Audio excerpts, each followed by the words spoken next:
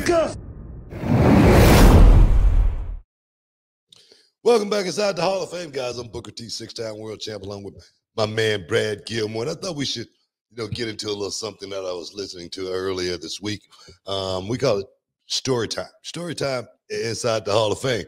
Um, and it was a, a, a, story that I was listening to actually on um, uh, Keeping It 100, uh, Disco Inferno, and um, Konnan's podcast. Question came in uh, as far as, you know, um, did they know anything about Booker T being the cancer in the locker room at TNA. So just something I thought I had to clear up, you know what I mean? Uh, because TNA is a, company that I worked at um, back in uh, early 2000s. And um, I worked there for two years uh, in TNA. And, and I've told a, a, few stories about TNA. And, and, and the one story I always say uh, about TNA, they said, man, how'd you like TNA? I always say, man, it was like a vacation. You know, I would go there, you know, um, you know, once every two weeks, you know, um, for a couple of days and do a show. Is at Disney um, Studios. Um, you know, we could actually go, you know, get on get on the rides and hang out and have fun. Um, it was so laid back and, and kicked back to the point to where, man, um, it was it was chill. So I always tried to give you know, TNA a good rub. Cornette, I think, was working there um, back then. I think he was a part of, you know, saying, you know, how I don't know, I don't know if he was saying how miserable I was. And so I, I hope this this gets back. I just want to talk about my time in, in, TNA for a second. And people saying, you know, how bad of an attitude I had. Man, I, I swear, man, I had such an awesome uh, attitude going into working with that company because I was so high on working with guys like Samoa Joe and Bobby Roode and you know, AJ Styles. I was like, man, uh, you know, Jay Lethal, um, and those guys. I was like, man, this is gonna be great. Uh, working with a, a whole a different generation of wrestlers as well as trying to give back. I remember having a meeting with those guys at TNA when I first got there. I said, man, uh, I know you guys are probably uh, you know wondering about me. Some may be a little skeptical. I say, but I'm here to help you guys. I'm here to help each and every one of you guys. And if any, if it's anything that I could do, um, just let me know, man. I'm, I, I, know you guys are seeing guys come here from the big company and, um, you know, get their paycheck and, and, and you guys, you know, still in the same place. I say, but he, I'm here to help you. And, uh, but more importantly, I'm gonna prove it. Um, I remember one time we went overseas, um, and this is where I think I got a really bad rap um, as far as me being in TNA. We went overseas and um, all of the boys, you know, we, we're working so hard, and um, we, we got to the building, and and and we had no catering um, at the building. Zero, zero catering for the boys. And a lot of guys in TNA, those guys weren't making a whole lot of money or anything like that. Me personally, I had a credit card, so I could, I could, I could get some food um, if I wanted it. But I felt really, really bad uh, for for those young guys. Remember, after the show, they wanted to stop at a food truck and, and get some food um, for, for, for for the guys. And the guys would have had to buy their own food. And I pitched a, a fit. I went off. I went crazy. I lost my mind. Okay. Continental champion. Um, he is Rolling Stones. Oh, I don't know what happened there. but maybe that's where I got uh, the bad rap at, uh, for a second because I was speaking up for the boys. I made sure um, I spoke up for those guys because those guys, like, you know, dropped off on a, a, a, island and said, you know, find some water and food um, on your own. You ain't get no credit cards like one of these uh, survivor missions or something like that. That's the way it felt for me, and I and I was really ticked off. Um, um, that those guys um, were treated that way. I remember coming out of my pocket and, and buying um, some guys food because they didn't even have a credit card of their own. So I was I was pretty ticked off about it. Yeah, I remember um, being in TNA and and having to catch a, a bus ride like eight hours to, to catch a one hour flight. And did I get hot about it? Yeah, I got hot about it. Did I get hot about when they asked me to do a, a media day um, and they asked me to, you know, do it in my own car instead of sending me a car to take me around? Did I get upset about it? Yeah, I got upset about it. Um, and maybe that's where people think, you know, what Booker T is a, you know, maybe not a not a team player. But I think everything that I did and and you could talk to the guys like AJ. You could talk to the guys like Jay Lethal, um, Awesome Kong. Talk to them. You you ask them, um, did Booker T make TNA a better place for them?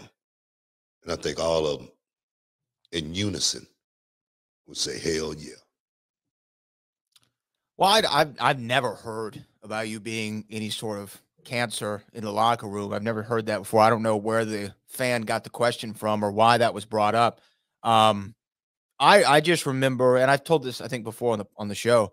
I remember one time we were backstage at a SmackDown a couple years back. We were doing the old show, um, and you went off to go do something, and, and we were about to interview AJ Styles, and then you left and did something, and I was sitting there with AJ, and we were just talking, and he was like, "Oh man, book when we were in TNA, he was so great," and he and he started telling me stories about things that you taught him that he still does today, right? And he's like, "Man, I'm so glad that I had that opportunity." You know, I'm paraphrasing, but that's what he said. So, and that was coming from the biggest organic star that TNA created, who wasn't at that level yet when you were there.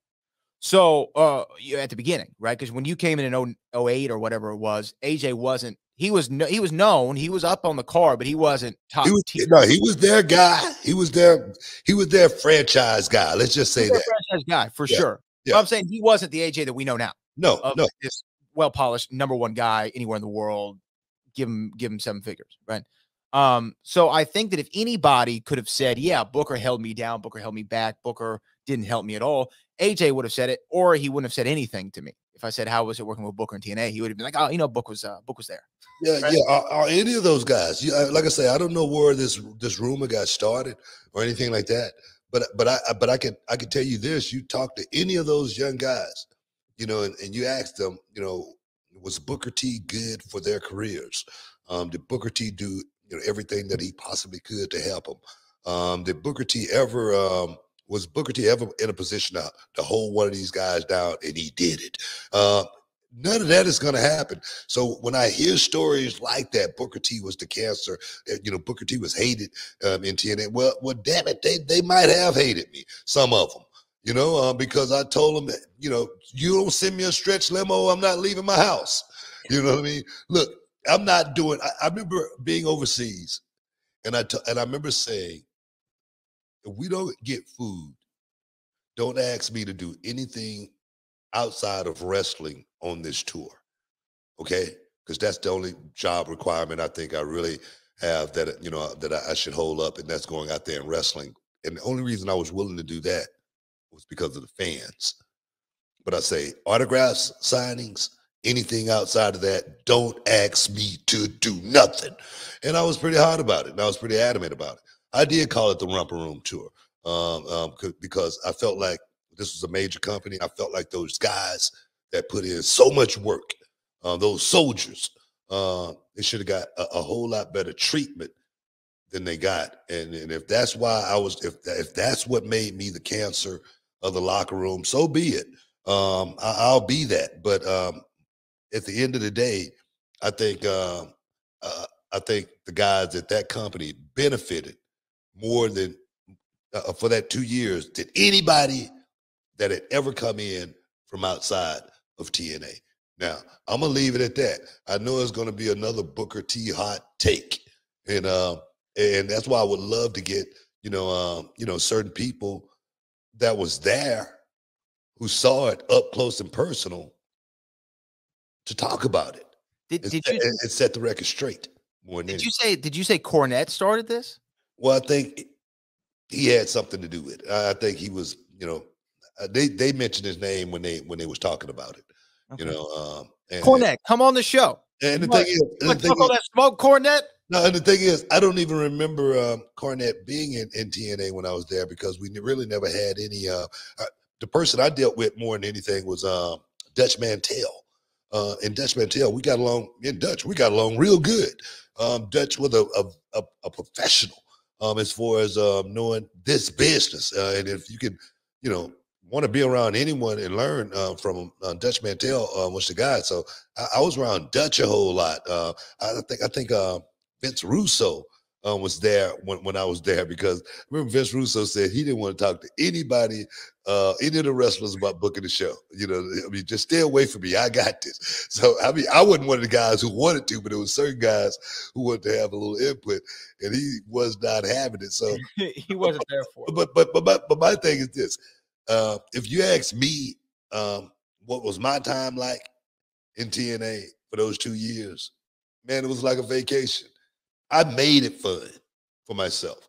Uh, and then at the end of my two year contract, I left, but I fulfilled every day of my contract. Not one day did I say, no, I'm not coming in or anything like that. I feel fulfilled every obligation on my contract. And for people to say um, anything negative about me um, as far as that company go, um, I, I, you know, I wish they said it to my face. You know, I mean, I, I just, I, I wish I knew who the sources were.